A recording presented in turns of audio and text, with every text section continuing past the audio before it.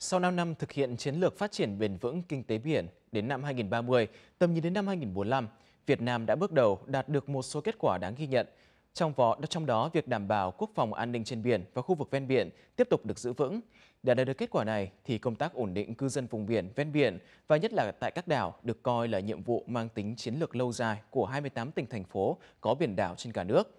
Câu chuyện đưa dân ra đảo Trần tại huyện Cô Tô, tỉnh Quảng Ninh là một ví dụ cụ thể cho ý nghĩa chiến lược đã được Đảng và Nhà nước đặc biệt quan tâm để góp phần thực hiện chiến lược phát triển kinh tế biển Việt Nam.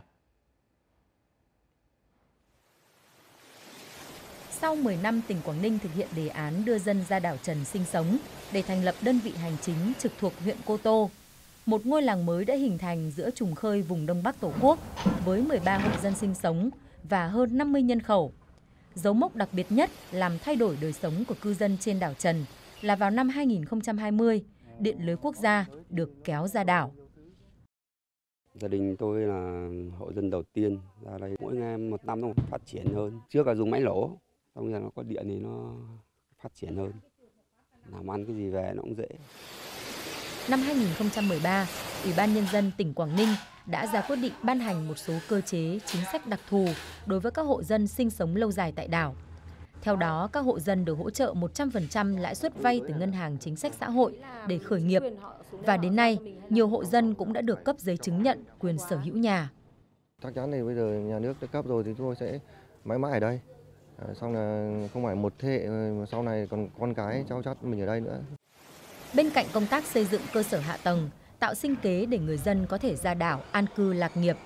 Hơn 10 năm qua, các lực lượng vũ trang đóng quân trên đảo Trần cũng luôn đồng hành sát cánh cùng bà con trên đảo. Đây chính là tiền đề để xây dựng, củng cố và phát huy lực lượng tại chỗ, phục vụ chiến lược quốc phòng an ninh trên biển. Từ khi mà có những cái cơ chế chính sách như vậy thì bà con cũng đã có được những cái mô hình phát triển kinh tế và họ làm ra của cải ở chính những cái nơi mà họ nghĩ rằng là khó khăn ngay từ bước đầu và cùng với sự đùm bọc hỗ trợ của các đơn vị lực lượng vũ trang trên đảo thì bà con nhân dân hiện nay đã toàn tâm toàn ý cho cái việc xây dựng và phát triển biển đảo quê hương của mình. Cùng với những lá cờ đảo sao vàng thì mỗi cán bộ, chiến sĩ và người dân trên đảo Trần chính là những cột mốc sống khẳng định cho chủ quyền biển đảo Tiền Tiêu phía đông bắc của Tổ quốc. Quốc gia biển phải có công dân biển.